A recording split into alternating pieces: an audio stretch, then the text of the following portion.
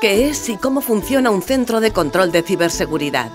Las empresas contratan un servicio de CiberSOC a un experto en ciberseguridad, consiguiendo tener en un mismo lugar el cerebro de su red y un escudo de protección contra las amenazas. Esto se logra gracias a potentes herramientas tecnológicas que monitorizan, dan soporte y gestionan cualquier tema relacionado con la red de telecomunicaciones a través de los servicios gestionados o Managed Services. Así se pueden beneficiar de la creciente automatización de la actividad de los CiberSOC, que permite la multitarea de seguridad de manera autónoma. Esto reduce la carga de trabajo de los analistas de seguridad, minimizando el tiempo de respuesta ante las amenazas. Y es que hoy en día cada vez hay más información confidencial en la nube, así que garantizar y proteger la red es un factor crítico para las empresas. De esta manera, con el servicio de CyberSOC, toman el control de todo lo que ocurre alrededor de su negocio. Por eso, muchas de ellas, y sobre todo pymes, descargan ese peso en este tipo de centros que ofrecen diversos servicios.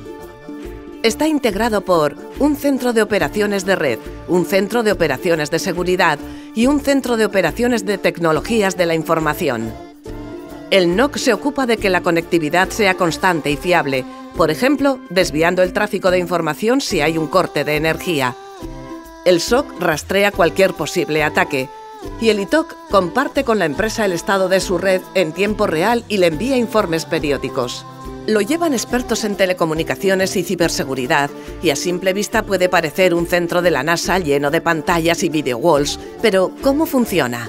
Una vez activados los diferentes Managed Services contratados, se monitoriza y analiza todo 24 horas al día, 365 días al año. El centro cuenta con sus propios protocolos y métricas de protección.